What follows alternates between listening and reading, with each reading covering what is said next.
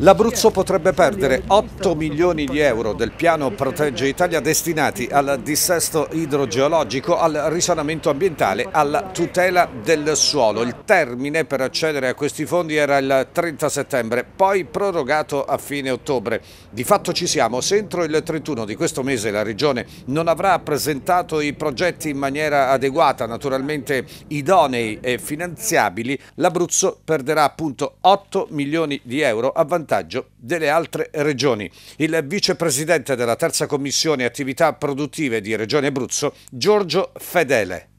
Oggi torniamo a parlare nuovamente di fondi assegnati all'Abruzzo che questa maggioranza non è in grado di spendere. Regione Abruzzo non ha presentato ad oggi, a quello che mi è noto, progetti. Il Consorzio di Bonifica Ovest lo ha fatto, un progetto di manutenzione straordinaria, la prima dopo la creazione della canalizzazione a Fucino da parte di Torlonia, che andrebbe a mitigare grandemente i problemi di allagamento e i danni che, che annualmente di questo periodo l'agricoltura è costretta a subire. Ad oggi non ci sono novità? No, ad oggi io l'accesso agli atti, le informazioni che ho chiesto al Dipartimento e alla Presidenza non mi sono state date, la Regione non ha risposto al mio accesso agli atti, quello che so lo so per le interlocuzioni fatte a livello ministeriale e con Casa Italia. I tempi quindi sono risicati, ma c'è una soluzione? Sì, la soluzione è innanzitutto di fare una ricognizione in funzione di quelli che sono gli enti che già hanno presentato dei progetti. In secondo luogo accelerare i tempi con i comuni, dare la massima disponibilità disponibilità anche in termini di supporto amministrativo nei confronti